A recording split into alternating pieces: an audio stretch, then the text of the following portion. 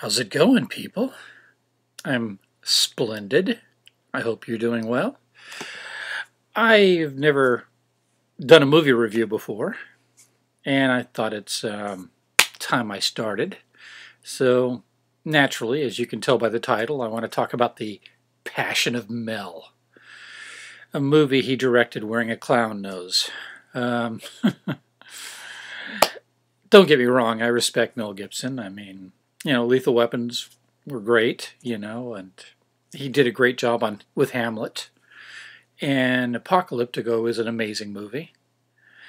But um, even though this movie did well, and I understand that adults were crying their eyes out in the theater, I was moved uh, to roll my eyes. and I would love to do the whole movie bit by bit and break it down, but I think I, for the sake of DMCA fair use, I'm going to condense it and break it up a little bit. So let's start off with the beginning quote, shall we? Which I'll show you right here.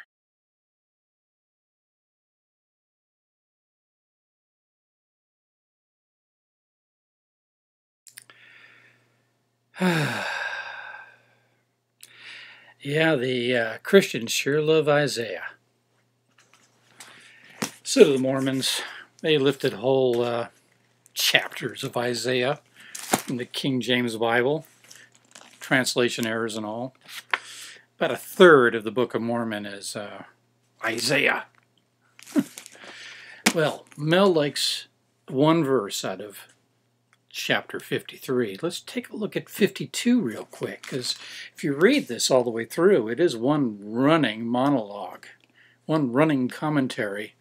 And in 52, let's see, you know, shake thyself from the dust, O Zion, O Jerusalem, and, you know, rise from the dirt and all that. You know, you're going to rise up, you know, from your grave and all that kind of talk, you know.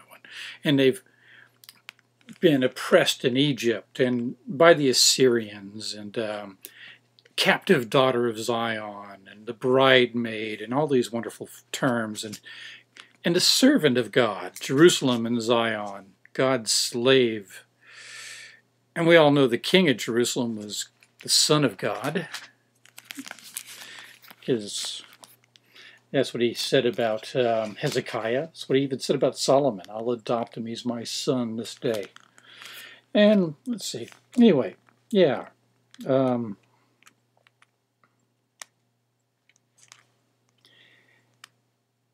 yeah, salvation. Um, um, the eye of the Lord shall bring again Zion. See, this is all resurrectional talk. Um, more salvation. Um, uh, let's see. Uh,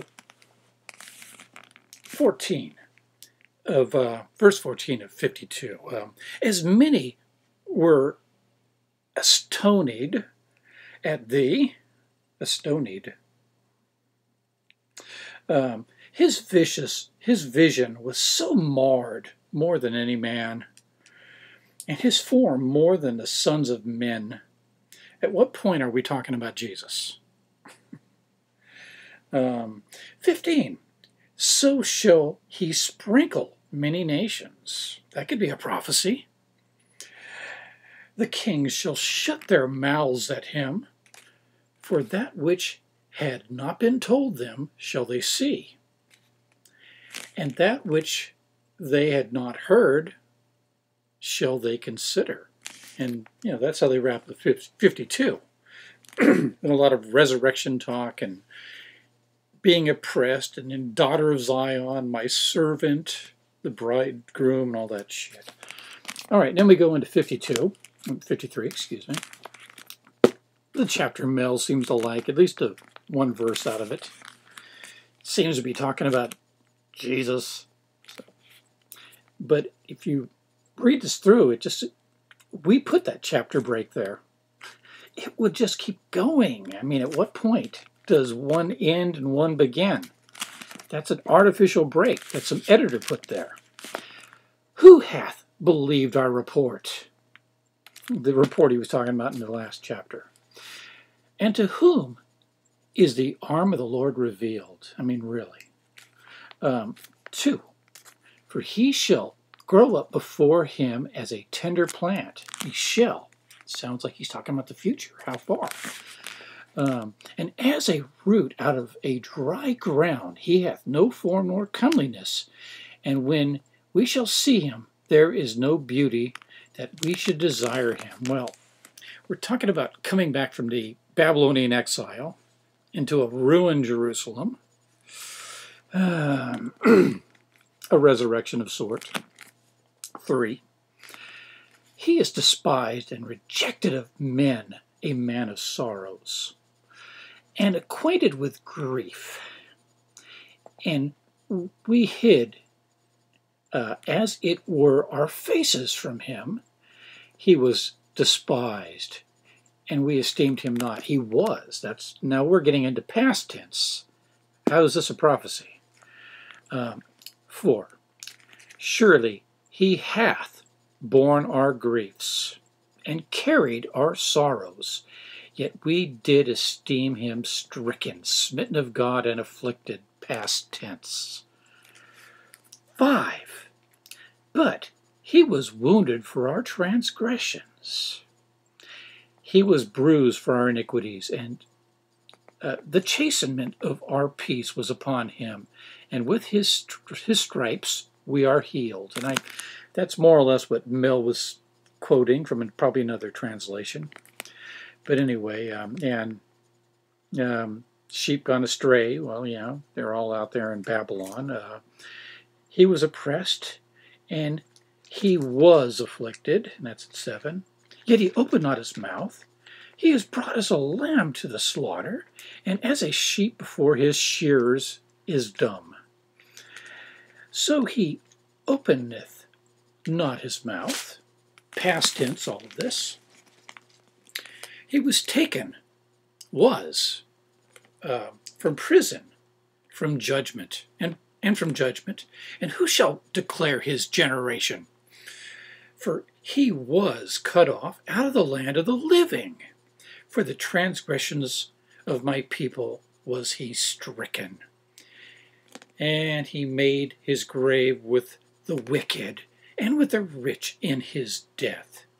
Because he had done no violence except maybe the clearing of the temple, but we're not talking about Jesus with his corded cat of nine tails beating the hell out of the money changers. Because he didn't do any violence. Of course, this could be talking about somebody else, maybe. Could also be some metaphorical, hoped for figure.